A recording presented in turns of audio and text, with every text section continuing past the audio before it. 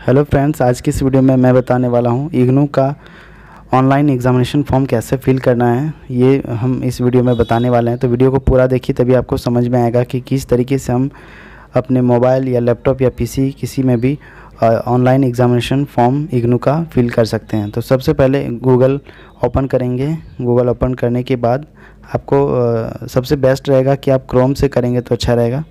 सो so, uh, मैं यहाँ पे गूगल ओपन किया हूँ। गूगल में आपको टाइप करना है। सिंपली सी क्या टाइप करना है? IGNOU form fill up IGNOU form fill up 2020 ठीक है ये आपको टाइप करना है। अगर हम ये 2020 में फॉर्म फिलअप कर रहे हैं जून का सो यहाँ पे आपको ये टाइप करना है। टाइप करने के बाद सिंपली से आपको क्लिक करना होगा। क्लिक करने के बाद कुछ इस तरह का इंटरफेस आएगा। यहाँ पर सिंपली आपको यहाँ पे दिया हुआ है एग्जामिनेशन फॉर्म इग्नू यहाँ पे आपको सिंपली क्लिक करना है। देन क्लिक करने के बाद कुछ गाइडलाइंस और इंस्ट्रक्शंस वगैरह यहाँ पे दिए रहेंगे। ये जैसे कि यहाँ पे डेट दिया रहेगा कि कब तक लास्ट डेट है। जैसे कि यहाँ देख सकते हैं कि फिफ्टीन मई 2020 ये लास्ट डेट है विदाउट लेट फ़ी इग्नू का फॉर्म फिलअप का, ठीक है? इस तरीके से आप देख सकते हैं। और ये सारा इंस्ट्रक्शन पढ़ने के बाद, सारा इंस्ट्रक्शन पढ़ने के बाद नीचे स्क्रॉल करेंगे और आपको बता दें कि पर सब्जेक्ट का फ़ी है डेढ़ सौ रुपया। वन फिफ्टी रुपीज़ पर सब्जेक्ट ठीक है? ऐसे स्क्रॉल करेंगे स्क्रॉल करने के बाद नीचे आएँगे। नीचे आने के बाद सिंपली से आपको यहाँ पे आई हेयर बाई अंडरटेक यहाँ पे आपको टिक आउट करना है। टिक आउट करने के बाद proceed to fill online examination form ठीक है? यहाँ पर दो ऑप्शन आपको मिलेंगे। Check for status if already registered अगर आपने रजिस्टर्ड कर चुका है तो स्टेटस यहाँ से चेक कर सकते हैं। नहीं तो अगर आप फॉर्म फिलअप करना चाहते हैं तो proceed to fill online examination form पे क्लिक करना है। सिंपल यहाँ क्लिक करने के बाद आपको यहाँ पे प्रोग्राम कोड चूज़ करना होगा। यहाँ पर आपका जो भी प्रोग्राम कोड है इग्नू का, वो यहाँ प्रोग्राम कोड चूज़ कर सकते हैं। जैसे मेरा बीए है तो मैम, हम बीए चूज़ कर लिए उसके बाद सिंपल से आपको इनरोलमेंट नंबर यहाँ डालना है। आपका जो भी इनरोलमेंट नंबर है, यहाँ आप फिल करेंगे। ठीक है? फिल करने के बाद आपको जाना होगा सिलेक्ट रीज़न में। सिलेक्ट एग्जामिनेशन सेंटर रीज़न में आपको क्लिक करना होगा। आपका जो भी रीज़न है, जिस रीज़न से आप इग्नू में स्टडी कर रहे हैं, वो रीज़न यहाँ पर चूज़ करेंगे। ठीक है? सिंपली मैं रांची से स्टडी कर रहा हूँ तो रांची से हम रांची चूज़ कर लिए। इसके बाद सिंपली आपको नीचे आना होगा और सबमिट बटन पर क्लिक करना होगा। जैसे ही आप सबमिट बटन पर क्लिक करेंगे, आपके सामने इस तरह का इंटरफेस खुल के आ जाएगा। यहाँ पे आपको click here to view exam centre code यहाँ से आप एग्ज़ाम सेंटर कोड का पता लगा सकते हैं। अगर आप चाहते हैं इग्नू ही एक ऐसा स्टडी सेंटर है जहाँ कहीं से भी अगर मान लीजिए आप रांची में स्टडी कर रहे हैं और किसी दूसरे स्टेट में हैं और वहाँ आप एग्ज़ाम देना चाहते हैं तो ये सुविधा इग्नू देती है। ठीक है? तो जिस स्टेट या जिस सिटी में आप एग्जामिनेशन सेंटर चाहते हैं, वहाँ का आपको कोड नहीं पता तो यहाँ से आप सिंपली क्लिक करके पता कर सकते हैं। तो जैसे हमको एग्ज़ामिनेशन सेंटर हमें बोकारो में देना है तो बोकारो हम यहाँ पे लिखा हुआ है, enter at least three character. तो थ्री कैरेक्टर हमने फिल कर दिया, फिर यहाँ पे एंटर करेंगे। तो पता चल गया कि ये एग्ज़ामिनेशन सिटी जो है बोकारो इग्नो स्टडी सेंटर है। इसका कितना कोड है? थ्री टू ज़ीरो सेवन यहाँ से पता कर लिए थ्री टू ज़ीरो सेवन और इसके बाद हम यहाँ से क्लोज़ कर दिए। क्लोज़ करने के बाद यहाँ सिंपली से एग्ज़ाम सेंटर कोड यहाँ पे नीचे क्लिक करना है और यहाँ पे हमको चूज़ करना है बोकारो ठीक है? Bokaro three two zero four seven click कर दिए। एग्ज़ामिनेशन सेंटर क्लिक हो चुका है।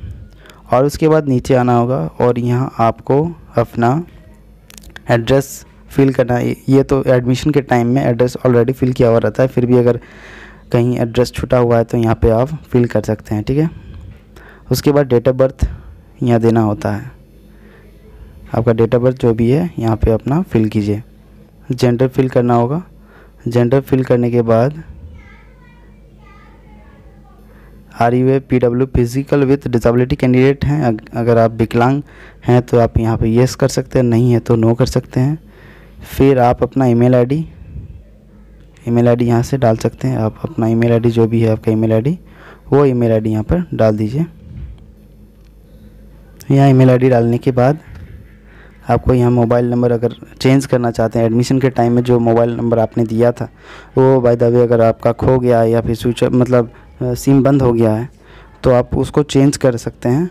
यहाँ पे दोबारा से मोबाइल नंबर फिल कर सकते हैं। देन फिर आपको यहाँ पे आधार नंबर फिल कर सकते हैं। आधार नंबर, चलिए मैं आधार नंबर फिल कर रहा हूँ। आधार नंबर फिल करने के बाद आपका जो भी कोर्स है, उस कोर्स को यहाँ पे आपको ऑप्शन वाइज देना होगा। जैसे कि फ़र्स्ट ऑप्शन में B H D E one zero eight है तो हम B H D one zero eight use करेंगे। सेकेंड में ऑप्शन है ई एस ओ थर्टीन आपका जो भी एडमिशन के टाइम में आपने जो सब्जेक्ट सेलेक्ट किया था वो एग्ज़ामिनेशन फॉर्म में वही फिल करना है। सो so, सिंपली हम यहाँ चूज़ करेंगे ई एस ओ थर्टीन उसके बाद आपको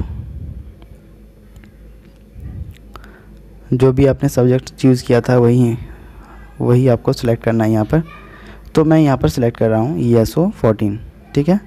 उसके बाद F S T one F S T zero one simple से मैंने ये चार सब्जेक्ट मैंने चार सब्जेक्ट का एडमिशन लिया था सेकेंड ईयर में तो मैंने चार सब्जेक्ट चूज़ कर लिया। फिर यहाँ ऑप्शन आएगा आर असाइनमेंट सबमिटेड और will be submitted latest by ये असाइनमेंट के बारे में यहाँ पे पूछ रहा है। कि आपने असाइनमेंट ये जो चार वो सब्जेक्ट आपने चूज़ किया, जो जिन, जिनके बारे में आप फॉर्म फिलअप कर रहे हैं, जिस सब्जेक्ट के बारे में तो उनका असाइनमेंट क्या आपने इग्नू में जमा कर दिया? आपको हाँ करना होगा येस करना होगा, क्योंकि आपने जमा ऑलरेडी फिल किया हुआ है।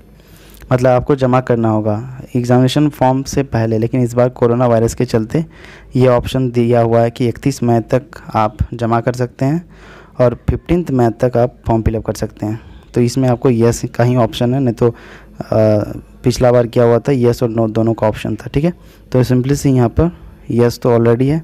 उसके बाद आपको यहाँ पर सबमिट बटन पर क्लिक करना होगा। ये सारा कुछ देख लें कि एक बार सही है कि गलत है। सारा सही है। अगर गलत है तो कहीं सुधार लीजिए, ठीक है? सारा कुछ फिलअप करने के बाद सिंपल से आपको नीचे स्क्रॉल करके आना होगा और यहाँ पर सबमिट के बटन पर क्लिक करना होगा। सबमिट बटन पर जैसे ही क्लिक करेंगे, आपके सामने कुछ इस तरह का इंटरफेस आपके सामने खुल के आ जाएगा। देख सकते हैं, आपने जो जो सब्जेक्ट यूज़ चूज़ किया है, देखिए। उसके बाद मोड ऑफ़ पेमेंट पेमेंट का ऑप्शन खुल के आ जाएगा।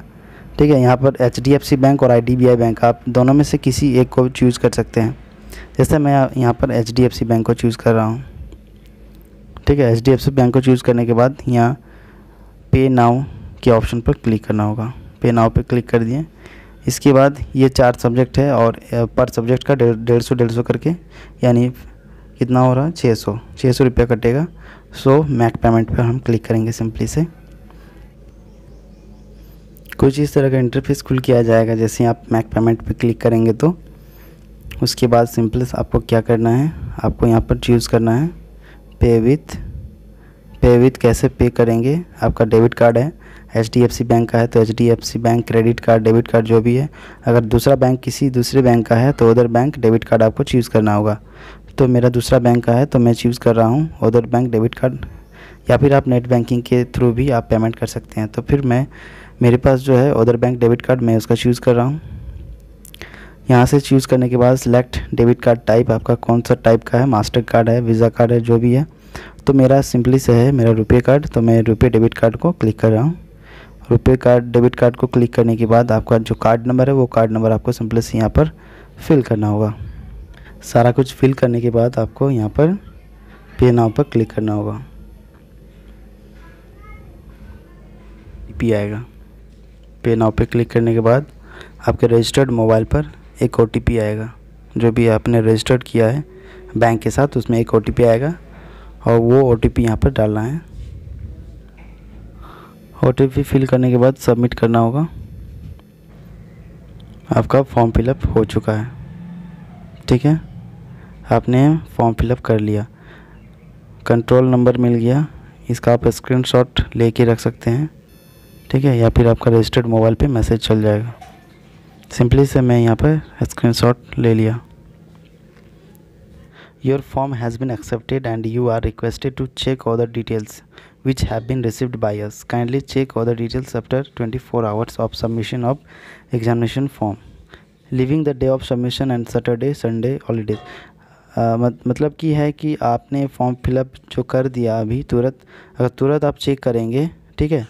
अगर शो नहीं करेगा तुरंत यानी 24 घंटा यहाँ मैक्सिमम टाइम दिया हुआ है 24 घंटा के अंदर आपका शो होने लगेगा कि आपने फॉर्म फिलअप कर लिया है।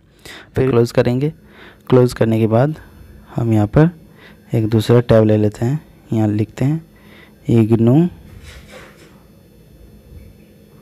form fill up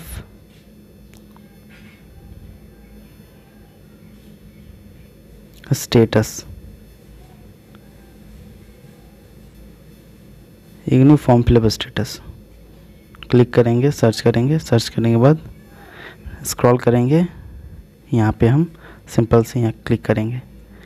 अब तो यहाँ पर दो ऑप्शन खुल के आ रहा है मतलब इनरोलमेंट नंबर और डेट ऑफ़ बर्थ दोनों देना पड़ेगा, तब आप पता लगा सकते हैं कि आपने फॉर्म फिलअप किया है कि नहीं। मतलब आप चेक कर सकते हैं इस तरीके से।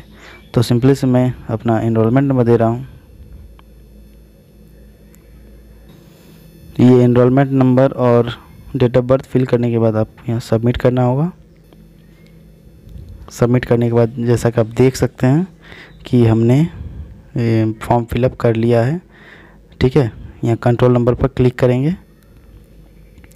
कंट्रोल नंबर पर क्लिक करने के बाद देख सकते हैं, हमको एक्नॉलेजमेंट स्लिप मिल चुका है। ठीक है? ये मेरे एक दोस्त का है, जिनका मैंने फॉर्म फिलअप किया है अभी अभी। ठीक है?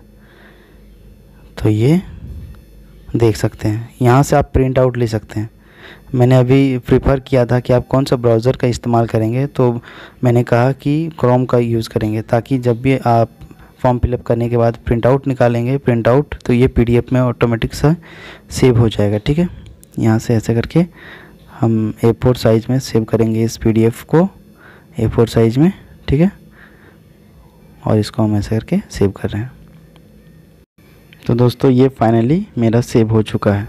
ठीक है? तो दोस्तों, इस तरीके से आप अपना इग्नू का फॉर्म फिलअप कर सकते हैं ऑनलाइन वीडियो, आपको कैसी लगी वीडियो? अच्छी लगी तो वीडियो को कर दीजिए लाइक मिलते हैं अगली वीडियो में। तब तक के लिए बाय